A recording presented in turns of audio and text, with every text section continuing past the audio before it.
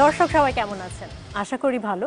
সবাইকে ঈদ মোবারক জানিয়ে শুরু করতে চাই আমাদের আজকের সরাসরি অনুষ্ঠান Deco super duper biscuit studio twenty four আজ আপনাদের জন্য কোন শিল্পী অপেক্ষা করছেন স্টুডিওতে পরিচয় করিয়ে দেওয়া উচিত অনুষ্ঠানের নিয়ম অনুযায়ী তবে তার আগে বলে রাখি, আমরা চ্যানেল টোয়েন্টি ফোর আবারও আপনাদের বিনোদনের কথা মাথায় রেখে বেশ কিছু অনুষ্ঠান নিয়ে আপনাদের মাঝে উপস্থিত। তারই ধারাবাহিকতায় আজ আমরা শুরু করছি Deco super duper biscuit studio twenty four প্রতি বৃহস্পতিবার রাত এগারোটা থেকে আমরা আপনাদের সামনে উপস্থিত হব আপনাদের সময়কে রাঙাতে চমৎকার সব গান এবং গানের শিল্পীদের নিয়ে। গান হবে, গানের সাথে গল্প হবে। শিল্প ও শিল্পীদের নিয়ে থাকবে চমৎকার সব তথ্য ও গল্প। দর্শক, জানিয়ে রাখি, আমাদের স্ক্রলে দেখা নাম্বারে কল করে আপনার প্রিয় শিল্পীর সাথে কথা বলতে পারেন, করতে পারেন আপনার প্রিয় গানের অনুরোধ। Deco super duper studio twenty ফোরে আজ আমাদের মাঝে আছেন এই সময়ের জনপ্রিয় দুইজন শিল্পী, আছেন বাউল শফি মণ্ডল এবং আমাদের সাথে আরও আছেন দিতি সরকার। দিতি সরকার।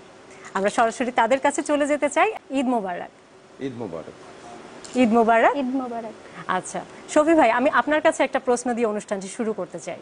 সেটি হচ্ছে আমি যতদূর জানি আপনি বড় হয়েছেন একটা গ্রামীণ পরিবেশে যেখানে সাংস্কৃতিক পরিমণ্ডলটা ছিল অত্যন্ত শক্তিশালী। গানের এত ঘরানা থাকতে লালনকেই কেন আপনি বেছে নিলেন? এটা খুব সহজেই বলা যায় যে একটা ভালো লাগা থেকেই এসছি।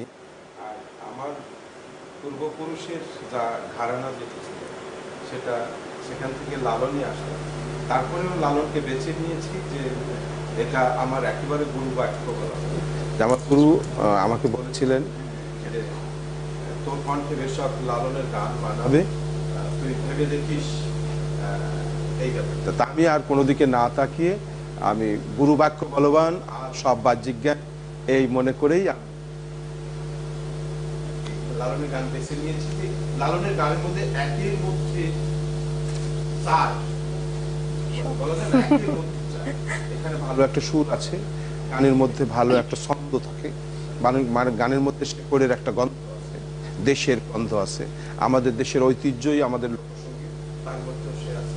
আর সর্বোপরি এই গানের মধ্যে তত্ত্ব মানুষের জীবনের মনের কথা আছে। সবগুলো মিলিয়ে হলো লালনের গান।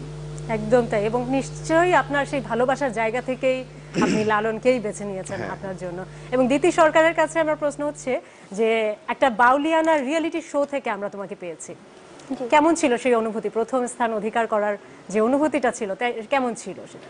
আসলে ওই সময়টাতে একটা রিয়েলিটি শোতে চ্যাম্পিয়ন হওয়া এটা অনেক বড় একটা বিষয় আমার জন্য। কারণ এত লাখ লাখ প্রতিযোগীর মাঝখান থেকে আবার বাছাই করে টপ ফাইভ টপ ফাইভ থেকে আবার এস এম এস এরপরে হচ্ছে বিচারকের নাম্বার যোগ করে তো তারপরে চ্যাম্পিয়ন তো দুটা কাউন্ট করে আমি চ্যাম্পিয়ন হব এটা আসলে অনেক বড় একটা পাওয়া নিশ্চয়ই, এবং আমরাও আপনাকে পেয়েছি, এটাও আমাদের জন্য একটা বড় ব্যাপার। আমরা অনুষ্ঠানের আসলে আরও গল্প করব, তার আগে আমি আসলে শফি ভাইয়ের কাছ থেকে একটা গান দিয়ে অনুষ্ঠানটি শুরু করতে চাই।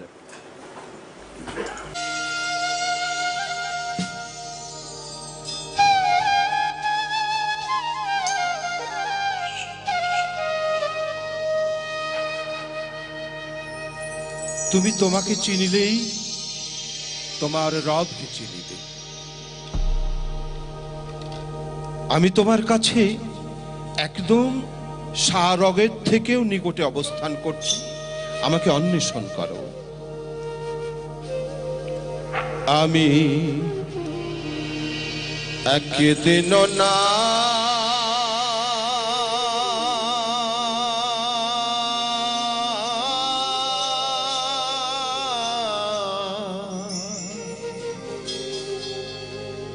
দেখে না। তারে। বাড়ি কাছে আরে শ্রীনগর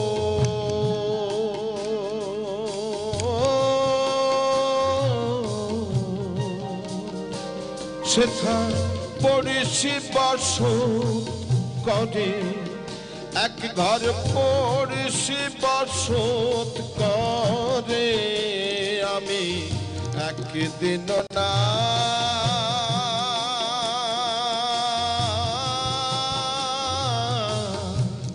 দেখি না তারে।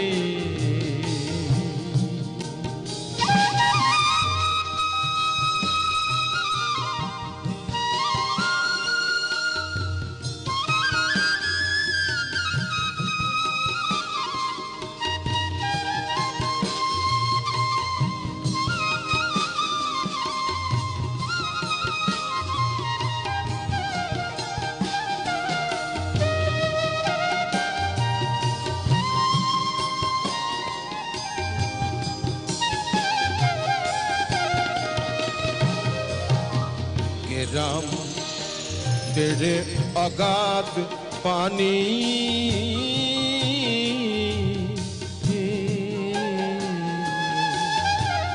নাই কিনারা নাই তরণী পারে। গেরাম বেড়ে অগাধ পানি।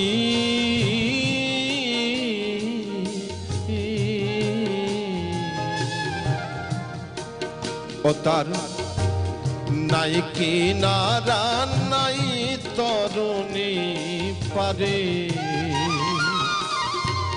বাঞ্ছা করি দেখিব তারে।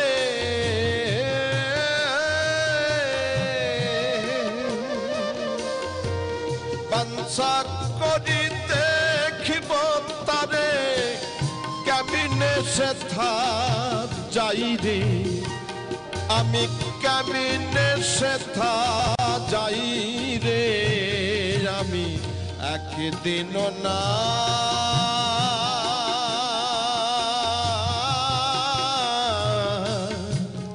দেখিলাম তারে। চমৎকার। সমী ভাই, আপনার কাছে একটা প্রশ্ন করতে চাই। সেটা হচ্ছে বিভিন্ন রিয়েলিটি শোতে তো আপনি বিচারক হিসেবে কাজ করেছেন। এবং আপনার কাছে বিউটি সালমা সহ খুদে শিল্পী মুন্না অনেকেই মোটামুটি আপনার এখান থেকে এসেছে। তো আপনার সেই অভিজ্ঞতাগুলো একটু শুনতে চাই ছোট করে। আসলে এই অভিজ্ঞতার তো শেষ নেই। অভিজ্ঞতা অভিজ্ঞতার গুরুর নাম হলো সমস্যা। যারা সমস্যার কাছ থেকে শিখতে পারে তারা পথ চলতে সমস্যা হয় না। তো আমি সমস্যার কাছ থেকে বেশি শিখি। এবং আমার অভিজ্ঞতা বলতে আমি যতদিন যাই ততদিন শুধু শিখতেই থাকি। আর দু একজনের নাম করে লাভ নেই। আমার অসংখ্য আছে তো সেজন্য আমি কারোর নাম করি না। লালন ব্যান্ডেও বেশ কিছু আপনার অনেক। অনেক আছে। এজন্য সবার কাছে আমি শিখেছি তো। কার নাম আলাদা করে কাকে দিব ফেলে কাকে দিব রেখে কত কটা দিন যাবে ধোলাবালি মেখে। লালনের গানের মধ্যে হ্যাঁ, কথার ভিতরে মানে ভাবার্থ তো থাকবে সবাইকে নিয়েই আমি আছি। আর আমার পথ চলা শুরু হয়েছে যারা বাজাচ্ছেন তাদের সাথে এখানে এসে। অনেকেই এই বাউলদের মধ্যে অনেকে আমাকে অপমানও করেছেন বলেছেন আপনি বাউল গানগুলোকে একেবারে মানে ওয়েস্টার্ন মিউজিক টিজুক দিয়ে এটা কেমন করলেন? তো আমার কথা হলো সেটা না সেটা হলো যে যুগে যুগে প্রযুক্তি আসবে আমাদের সহযোগিতা করার জন্য। আমার পরবর্তী যারা আসছেন বাউল আমরা যেমন আমার পূর্বপুরুষ যারা এসেছিল একটা একতারা হাতে করে পরবর্তীতে দোতারা হাতে করে এসছে এর পরবর্তীতে আসবে গিটার হাতে করে। প্রযুক্তি এভাবে আসতেই থাকবে। এরা আসবে আমাদের তবে হ্যাঁ আমাদের লোকসঙ্গীত আমাদের শেকড়ের গান আমাদের রাষ্ট্রীয় ঐতিহ্য এর জন্য চেহারাটা নষ্ট না হয় শেকড়ের গন্ধটা যেন নষ্ট না হয়। দেশ দেশের গন্ধ থাকে শেকড়ের গন্ধ থাকে মাটির গন্ধ মায়ের গন্ধ এই লোকসঙ্গীতের সাথে মেশে। আমরা যতই যন্ত্র বাজাই না কেন আজ থেকে দুশো বছর আগে লালন ফকির বলেছে যে যন্ত্র যদি লক্ষ জনের মধ্যেও থাকে তাহলেও যন্ত্রী বিহনে যন্ত্র কবু নাহি বাজে। মানে কেউ বাজালে না বাজে। যেমন বাঁশ বাঁশি হয়ে যায় কেউ যদি বাজায়।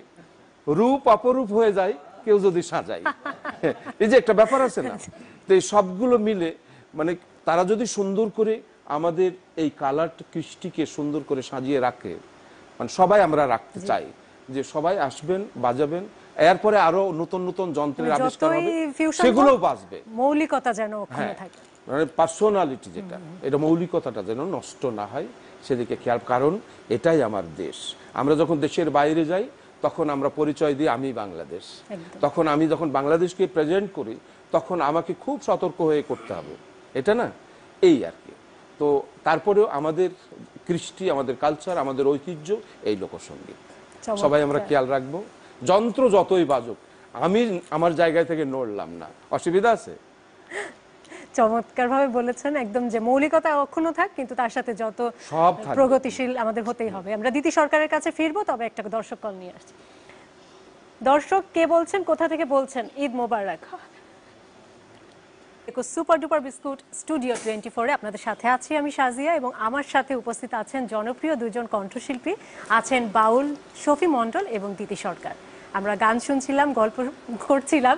শফি ভাই, আপনার সাথে আর একটু ব্যাপারে একটা কথা বলতে চাই, কারণ আপনাকে তো পাওয়া যায় না, দর্শকের অনেক প্রশ্ন আপনাকে নিয়ে। তো আমি জানতে চাচ্ছিলাম যে আপনি তো লালনের দেশের মানুষ, ফিলিপনগর হচ্ছে আপনার গ্রামের নাম। এবং সেখানে আমি যতদূর জানি যে ইসলামপুর একটা ক্লাব আছে এবং একশো বছর পূর্তি হতে যাচ্ছে সামনে। এটা হলো আরও দু বছর আছে। জি মানে সামনেই হতে যাচ্ছে। তো সেটার সম্বন্ধে একটু মানে আসলে ওই ক্লাব থেকে আমরা বেড়ে উঠেছি। আচ্ছা। আমাদের একেবারে গ্রামের বাড়ির নারী পোতা আছে যেখানে আর কি। তো ওই ক্লাব ক্লাবটার বৈশিষ্ট্য হলো সেই রেডিও পাকিস্তান যখন ছিল সেই সময়ও ওই ক্লাবের তিনজন শিল্পী ছিলেন সেই সময় গান আচ্ছা। গাইতেন। আর সেখানেই বলা যায় যে সংস্কৃতি চর্চাটা এত এত ভালো হতো তো তখন ডিস্ট্রিক্ট শহর থেকে আমাদের গ্রামে মানুষ চলে আসতো। এই ঈদের পরের দিন থেকে তিন দিন ব্যাপী সেই প্রোগ্রামটা সেই মানে ক্লাবটা আমাদের দুঃখের বিষয় যে নদীতে বিলীন হয়ে গেছে ভেঙে গেছে। তারপরেও একটু জায়গা আছে সেখানে আমরা করছি। আমাদের পরবর্তী প্রজন্মরা যাতে এই হালটা ধরতে পারে। সংস্কৃতি জাতির মেরুদণ্ড একটা দেশের মেরুদণ্ড সেই সাংস্কৃতিক দিককে যেন পরবর্তী প্রজন্ম আমাদের চেয়েও ভালো ধরবে অবশ্যই আমাদের বিশ্বাস। আমার পরবর্তী যারা আছে তারা আমাদের চেয়ে অনেক মেধাবী ধরবে। আমরা সেই ক্লাবের উত্তরোত্তর উন্নতি সবসময় কামনা করি এবং ওই ক্লাব থেকেই আমরা বেড়ে উঠেছি। আমার গুরুজির বাড়ি মানে ওখানেই একেবারে বাড়ির কাছেই ক্লাবটা ছিল। ওখান থেকে সাবদার হোসেন আমি যার কাছে প্রথম হাতে করে নিয়েছিলাম। এখনও কি এটা মানে আপনারাই চালাচ্ছেন? এখনও এখনও। আমাদের পরবর্তী আমাদের ছেলেরা নাতিপুতি তারা দেখছেন। আমরা সেখানে ক্লাবের আছি মেম্বার কতজন এখন বর্তমানে? এখন সেই সময় এখন তো এখন বলা যায় ক্লাবের মেম্বার আমাদের গ্রামের সবাই। সবাই আচ্ছা। উত্তরাধিকার সূত্রে ওই ক্লাবের মেম্বার। কোনো বড় কিছু গ্রামের ব্যাপার বড় কিছু করতে গেলেই ওই ক্লাবের শরণাপন্ন হই আমরা। আচ্ছা, এক জায়গায় দাঁড়ালে তো সেখানে সবচেয়ে মজার ব্যাপার যে সেখানে কোনো দল থাকে না। যে দলই করুক না কেন যে যে দলের মানুষ হোক না কেন ওই জায়গায় আমরা আমরা ওই গ্রামের মানুষ এই দিকটা সবচেয়ে ভালো। কি অদ্ভুত। এখনও এই জিনিসটা মানে অব্যাহত আছে চমৎকার। আমরা দিতি সরকারের কাছে যাব তার আগে দর্শকের একটা ফোন কল নিয়ে আসছি। দর্শক ঈদের শুভেচ্ছা আপনাকে কে বলছেন কোথা থেকে বলছেন? জি, আলাইকুম ঈদের শুভেচ্ছা। আমি সুহাগ বলছিলাম আমি একটু ছবি মন্ডল স্যারের সাথে কথা বলতে চাচ্ছিলাম। জি অবশ্যই। জি আমি তো আপনার সামনেই আছি বলুন। জি বাবা আমি সোহাগ। ও সোহাগ। ঈদ মোবারক। ঈদ মোবারক বাবা। আচ্ছা বাবা। বাবা অনেক মিস করছিলাম কারণ অনেক দিন হয় আপনার সামনে বসে। হ্যাঁ। আপনার কথা শুনি না আপনার মুখের বাণী শুনি না। তো বসে বসে শুনছিলাম খুব ভালো লাগল। ধন্যবাদ জানাচ্ছি চ্যানেল টোয়েন্টি ফোর কে এরকম সুন্দর একটা আয়োজন করার জন্য। আর দ্বিতীয় জন্য শুভকামনা। থাকুন। অবশ্যই হবে। ধন্যবাদ। ধন্যবাদ। দর্শক রিকোয়েস্ট করার জন্য আমরাও অপেক্ষা করব একটা ভিন্ন ধর্মী পরিবেশনা পাওয়ার জন্য। নীতি সরকার আপনার বাড়ি তো হচ্ছে টাঙ্গাইল জেলার মির্জাপুরে। পড়াশোনা করেছেন নজরুল ইসলাম ইউনিভার্সিটিতে। হ্যাঁ, সংগীত বিষয়ে হচ্ছে অনার্স আর লোকসঙ্গীতে মাস্টার্স তো সেই টাঙ্গাইল থেকে এই জার্নিটা একদম মাস্টার্স করে বের হলেন। এই জার্নিটা পুরাটাতে অনুপ্রেরণা কে বেশি দিয়েছে আপনাকে? অনুপ্রেরণা আসলে ছোটবেলা থেকেই আমার গানের প্রতি একটা অন্যরকম ঝোঁক ছিল। আর গানটাকে ভালোভাবে জানার জন্য, বোঝার জন্য, তো আমার ছোটবেলা থেকে খুব ইচ্ছে ছিল যে আমি গান নিয়ে পড়াশোনা করব। তো সেই সুবাদে বিভিন্ন ইউনিভার্সিটিতে অনার্সে ভর্তি পরীক্ষা দিয়ে, এরপরে আমার জাতীয় কবি কাজী নজরুল ইসলাম বিশ্ববিদ্যালয়ে আর কি চান্স পাই।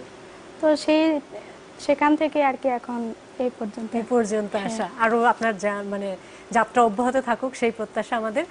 সমী ভাই আপনার কাছে একটা প্রশ্ন করতে চাই। সেটা হচ্ছে বিভিন্ন রিয়েলিটি শোতে তো আপনি বিচারক হিসেবে কাজ করেছেন। এবং আপনার কাছে বিউটি সালমা সহ খুদে শিল্পী মুন্না অনেকেই মোটামুটি আপনার এখান থেকে এসেছে। তো আপনার সেই অভিজ্ঞতাগুলো একটু শুনতে চাই ছোট করে। আসলে এই অভিজ্ঞতার তো শেষ নেই। অভিজ্ঞতা অভিজ্ঞতার গুরুর নাম হলো সমস্যা। যারা সমস্যার কাছ থেকে শিখতে পারে তারা পথ চলতে সমস্যা হয় না। তো আমি সমস্যার কাছ থেকে বেশি শিখি এবং আমার অভিজ্ঞতা বলতে আমি যতদিন যাই ততদিন শুধু শিখতেই থাকি। আর দু একজনের নাম করে লাভ নেই। আমার অসংখ্য আছে তো সেজন্য আমি কারোর নাম করি না। লালন ব্যান্ডেও বেশ কিছু আপনার অনেক অনেক আছে। এজন্য সবার কাছে আমি শিখেছি তো। কার নাম আলাদা করে কাকে দিব ফেলে কাকে দিব রেখে কত কটা দিন যাবে ধোলাবালি মেখে? রবি ভাই আপনার তো আমরা আমি যতদূর জানি আপনার ঢাকা এবং আপনার গ্রামের বাড়ি উভয় জায়গাতেই আশ্রম আছে। আশ্রম বলতে আমার আশ্রমটা কিন্তু সংগীত আশ্রম। জি জি সংগীত আশ্রম। সেখানে অনেক ধনী লোকের ছেলে মেয়েরাও থাকে আবার অনাথ গুলোও থাকে। আচ্ছা তো সব মিলে হ্যাঁ। স্বনামধন্য জনপ্রিয় সংগীত শিল্পীরা কিন্তু আপনার সাহচর্যে বেড়ে উঠেছে। হ্যাঁ। সেই গল্পটা একটু শুনতে চাই। আসলে সবাই মনে করে আমি সবাইকে শিখাই। এটা ধারণা সবার। কিন্তু আমি সবার কাছে মাঝখান থেকে শিখে নেই। আমি তাদের চেয়ে আমিই বেশি শিখি। এটাই সবচেয়ে আমার বড় প্রাপ্তি। আর আমার যোগ্যতার চেয়ে প্রাপ্তি এখানে বেশি হয়ে যায়। যে আমার গুরু বলেছেন যে গুরু সবসময় দৃষ্টিতে থাকে অন্তরে থাকে। তো গুরু থেকে যখন ভক্ত আলাদা হয়ে যায় অথবা গুরু বিয়োগ হয়ে যায় তখন কি হবে? তো সবসময় অন্তরে থাকে। তখন বাক্য একটা আছে যে তুমি যাকে শিখাবে, সেই ভক্তের দিকে, ভক্তের চোখের দিকে চেয়ে দেখো, তুমি তোমার গুরু রূপ দেখতে পাবে। তো আমি সেখান থেকেই, আমি যাদেরকে শেখাই তাদের মধ্যে, আমি আমার গুরু রূপ দেখি, ওরাই আমার গুরু এবং আমি ওদের ভক্ত হয়ে যাই সেই সময়। আর পাশাপাশি এইভাবে আমিও শিখি, তারাও শিখে। আমার গ্রামের বাড়িতে যে আশ্রমটা আছে, সেটা আমার বড় মেয়ে লীনা এখন দেখভাল করেন। আর আমি ঢাকাতে ছোট্ট একটা জায়গায় আছি সেখানে অনেক ছেলে মেয়ে আসে আমিও তাদের কাছে শিখি এরকম আর কি। চমৎকার। মানে এই সংজ্ঞায় যদি সবাই সংজ্ঞায়িত হতো আসলে সমাজের রূপটাই হয়তো পরিবর্তন হয়ে হ্যাঁ। যেত। খুব সুন্দর করে বলেছে চমৎকার। আমরা অনুষ্ঠানের একদমই শেষ পর্যায়ে চলে এসেছি কিন্তু আমি তার আগে অনুষ্ঠান শেষ করার আগে তো অবশ্যই দর্শকের কাছ থেকে বিদায় নিব। তার আগে আমি ধন্যবাদ জানাতে চাই আমাদের যারা সঙ্গত করেছেন আজকে বাদ্যশিল্পীগণ। বাসিতে আছেন কামরুল ভাই। আমাদের অক্টোপ্যাডের রানা। কিবোর্ডে আছে রাজীব তবলা শিমুল বড়ুয়া লিড গিটার ফাহিদ রহমান। আপনাদের সবাইকে অসংখ্য ধন্যবাদ এবং আমি দর্শকের কাছ থেকে একটু বিদায় নিয়ে এসে আপনাদের একটা দ্বৈত পরিবেশনার শুনতে শুনতে আজকের অনুষ্ঠান শেষ করব। দর্শক চলে আসলাম আমাদের অনুষ্ঠানের একদম শেষ পর্যায়ে। আপনারা দেখছিলেন Deco super duper biscuit studio twenty four এবং আশা করি আমাদের আজকের পরিবেশনা আপনাদের ভালো লেগেছে। সময় চলে যাবার। আমরা গান শুনতে শুনতে বাড়ি ফিরবো। আমি সাজিয়ে আপনাদের কাছ থেকে বিদায় নিয়ে নিচ্ছি। চলে যাচ্ছি আমাদের দ্বৈত পরিবেশনায়।